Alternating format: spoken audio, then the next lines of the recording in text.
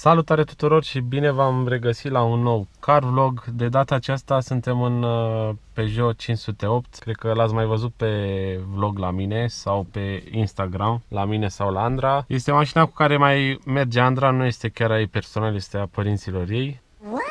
Haideți întâi să vă arăt la exterior să o prezint un pic, iar apoi ne revedem din interior. Cam așa arată mașina. Deci este vorba despre un Peugeot 508 din 2013, hibrid 4x4.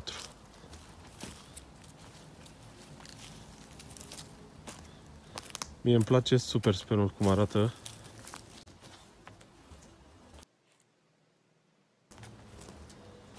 Să vi-l arăt din spate. Uitați cât de bine arată. Avem aceste stopuri pe LED fără, fără semnalizări, semnalizările nu sunt pe LED. O chestie foarte mișto de unde se deschide portbagajul, apeși aici pe 0 și se deschide. E super tare chestia asta. Din lateral vedem jantele astea pe 17 care arată drăguț și astea. O ușă spate care se deschide larg către o gură de acces mare. Avem perdeluțele astea super mișto.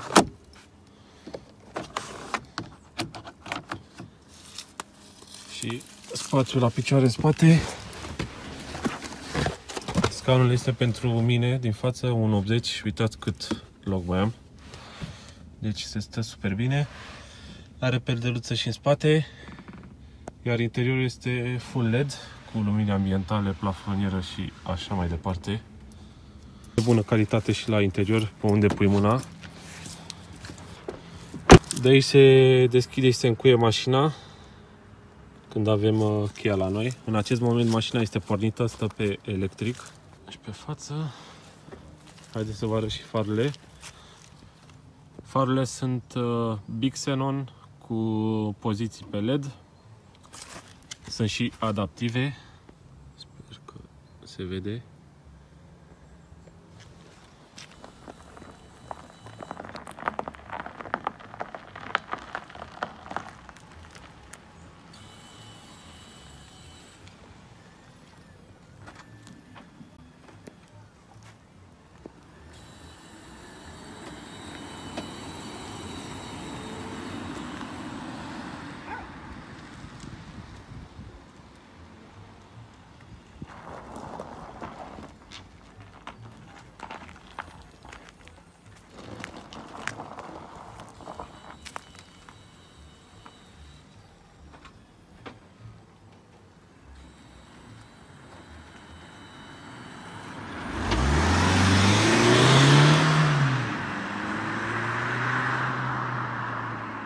Așadar, asta este cheia. Sper că am pus camera bine. Este keyless uh, entry, keyless go mașina, uh, descuiat uh, portbagaj și închis. O putem ține oriunde sau are aici un locaj special. Haideți să o și pornim. Ce e ciudat la mașina asta care butonul de start-stop pe stânga și nu pe dreapta cum e de obicei la oricare mașină cu buton start-stop. Apăsăm o dată, îi punem contactul acele se dau super mișto așa peste cap. Ținem frâna și mai apăsăm o dată. În acest moment uh, mașina a pornit și ne arată că sistemul uh, hibrid este activ. Adică acum suntem pe electric, doar pe electric. Avem aici frâna de mână care este electromecanică. Oricum se dezactivează automat când uh, pleci de pe loc și când o oprești și o pui în liber se activează. Pe stânga aici avem reglaj oglinzi, rabatare oglinzi, se dau super mișto în sus așa. Uh, geamuri electrice față-spate, bineînțeles, și uh, încuiere, să nu poți să descui uh, ușile din spate, din interior pentru copii. E o chestie super mișto. Aici, pe stânga, mai avem buton de deschidere a portbagajului, deschidere capac pentru a băga motorina. Așa, mai avem aici, putem închide și deschide, după cum puteți vedea, mașina are head-up display. Îl putem uh, seta de aici să-l uh, dăm mai jos, mai sus, luminositatea lui. ASR off, uh, senzor de parcare off și eco off. Ce face mai exact acest uh, eco off? Dacă eu îl apus acum veți vedea că va porni motorul termic. Iată. Eco dezactivat. Iar în acest moment mașina nu mai merge pe electric sau auto, electric cu, cu dieselul, merge doar uh, pe, pe motorul cu, cu motorina. Dar haideți să-l uh, stingem totuși. Iată, l-am stins, eco activat și acum suntem iarăși în electric. Să dăm și clima mai ușor. Avem un uh, volan super mișto de piele care este puțin cam mare, dacă mă întrebați pe mine, dar restul este super mișto. Avem o grămadă de butoane, volum, să răspunzi la telefon, să setezi pilotul automat și așa mai departe. Aici avem uh, comenzile la lumini, auto, mașina are faruri automate cu LED și xenon adaptive, padele. Aici avem un suport pentru o cafea, un suc ceva și în stânga și în dreapta. Închidere, deschidere uși, avarii. Aici este partea multimedia și cu aceasta avem navigație, radio, trafic media, setări și așa mai departe. Mașina are inclusiv uh, schimbarea automată a fazei de întâlnire cu cea lungă. Deci uh, apăsăm noaptea acest buton și ea dă lungă, fază lungă când uh, simte nevoia și când se întâlnește cu o mașină o dă înapoi pe cea scurtă. Ați prins ideea și știți oricum despre ce este vorba. Avem butonul SOS care sună la 112 dacă este conectat uh, telefonul.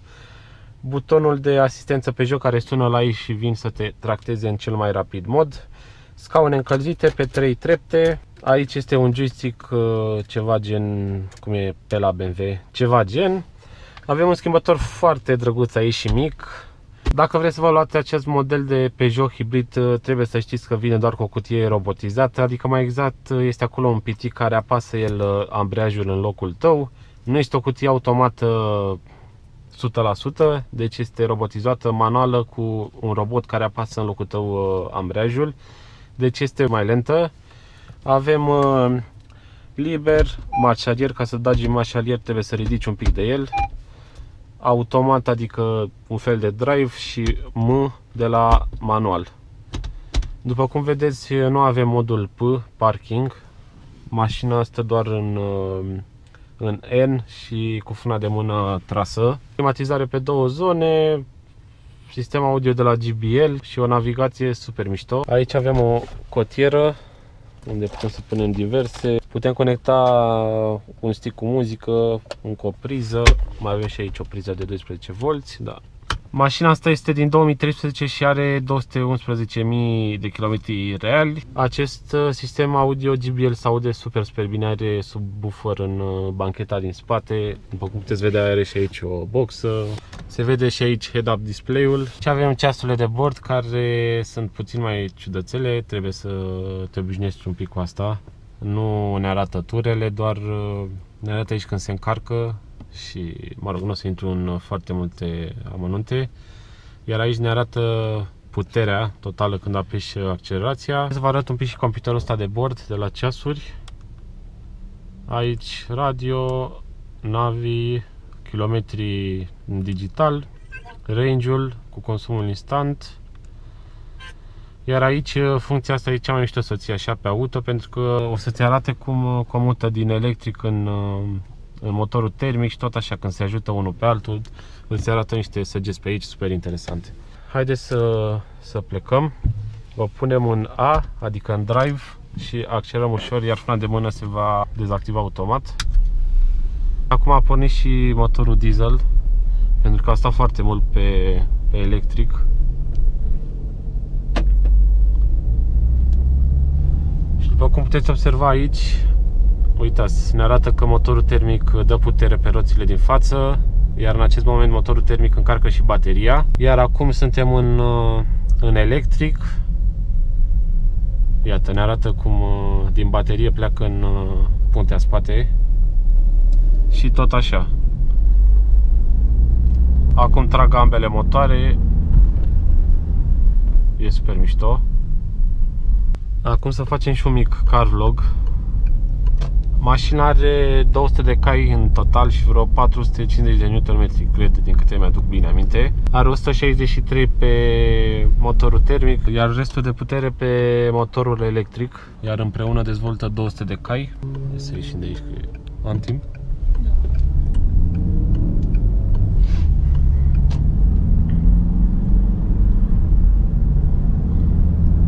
E foarte mișto că mașina e foarte silențioasă când merge doar în uh, electric. Oricum e foarte, foarte bine antifonată. Mamă, uitați și aglomerate spre București. Mamă, tu vrei și pe aici? Hai să fac ce.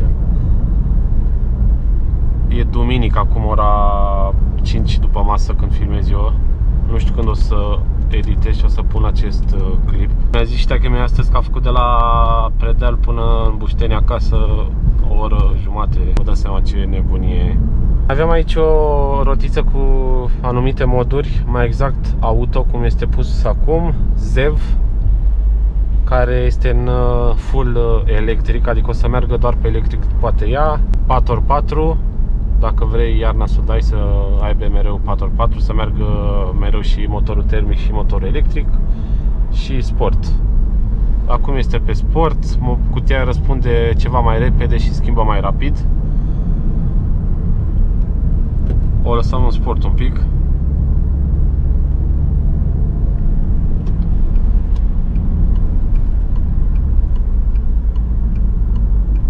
Dacă nu s-ar mai băga ăștia. Chiar dacă nu suntem în uh, manual cu cutia, putem schimba și din padele. Iată, acum am dat a doua, a întâia și ar poți accelera. Și vedeți, cutia asta robotizată are un mic delay când schimbă.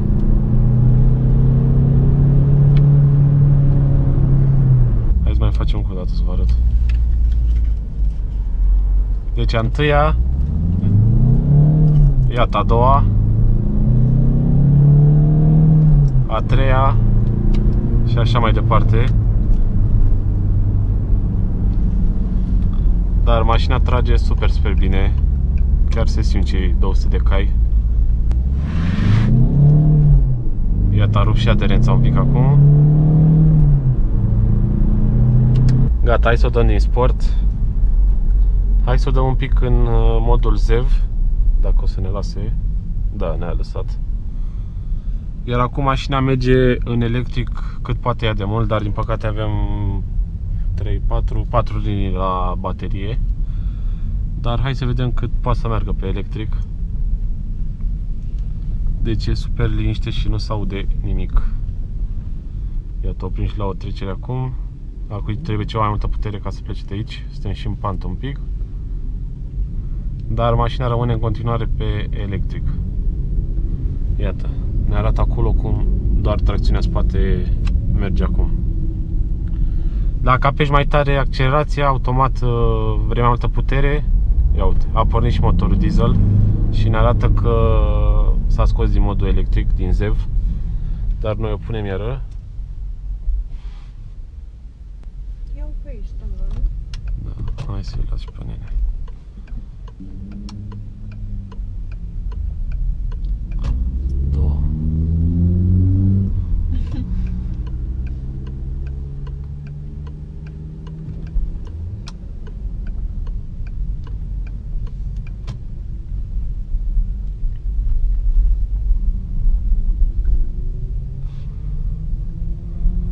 Ar fi interesant să facem o liniuță odată cu Clio.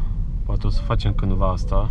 Dacă vreți să facem o liniuță, nu uitați să scrieți jos în comentarii și să apăsați butonul de like. Apropo, am văzut că ne-am strâns 78.000 pe acest canal și vă super, super mulțumesc. Mă mir cum de n-a sărit. Uh-huh, am mers mult în electric și încă mai merge. Gata. Când că și urcăm aici. Bine, poate dacă acționăm un pic mai ușor, Uite, deja mai are două baterii. Două, două linii. Merg în sus?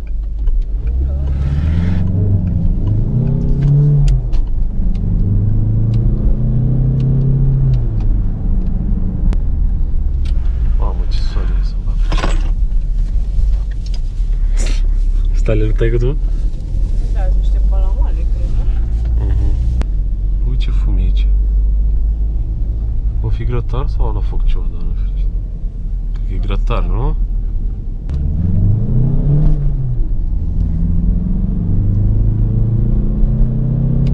S-a activat automat iar SP-ul. Mai știi că așa se activa și la Peugeot ăla? Nu știu dacă mai știi minte. Fa. Ce soare e.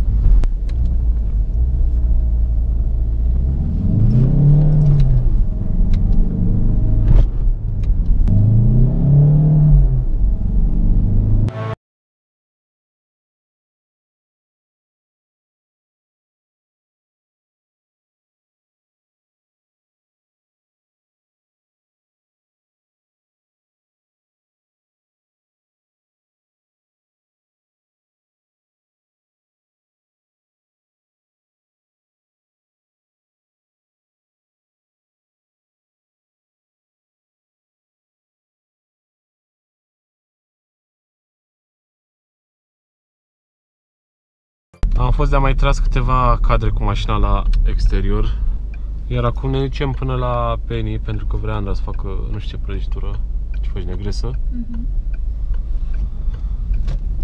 Na, încearcă să fac Da. Nu glumesc că face prăjituri bune Nu? A, apropo să vă zic că consumul pe ultimii 4691 de kilometri cu o viteză medie de 37 de km pe oră mai mers numai în oraș aproximativ 5,7 consum. Deci ce poți să-ți dorești mai mult de atât la o mașină de gabaritul ăsta și totuși la o anumită putere? Are 200 de cai ceea ce e super, super tare și ce îmi place la mașinuța asta e că are multe, multe dotări și se simte foarte, foarte bine. Gata, a trecut din nou pe electric, i s-au încărcat uh, bateriile și acum mergem în liniște. Când las piciorul de pe accelerație și în frână de motor, uh, bateria se încarcă. Am uitat să vă spun și lucrul ăsta. Oricum, cine vrea o mașină hibrid e super tare să, să-și cumpere. Sincer, și eu mi-aș cumpăra una. Sunt destul de scumpicere, mai ales dacă vrei să o iei de nou, te costă ceva. Știu că îți dă și statul ceva bani. Sau doar la full electric, nu știu singur. Scrieți voi în comentarii dacă știți mai bine. Cam asta a fost tot uh, videoclipul pe ziua de astăzi. Sper că v-a plăcut, sper că v-a plăcut și mașina și dacă da, nu uitați să apăsați acolo butonul de like, să-mi dați un follow pe Instagram și nu uitați să te abonezi la canalul meu dacă îți place ceea ce fac și voi posta în curând și un nou ATV vlog. Eu am fost Costin și ne vedem data viitoare. Pa!